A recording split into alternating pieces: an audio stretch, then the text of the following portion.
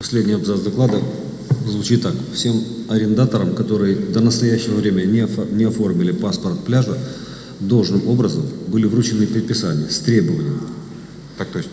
как можно быстрее оформить паспорта на открытие и санирование пляжа.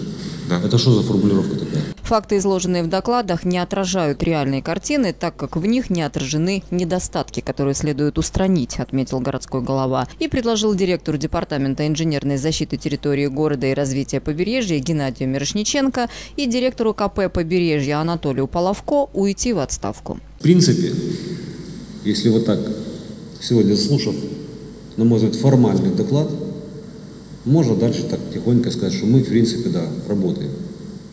На самом деле это не работа. Геннадий Николаевич Анатолий Павлович, я вам предлагаю написать заявление по собственному желанию.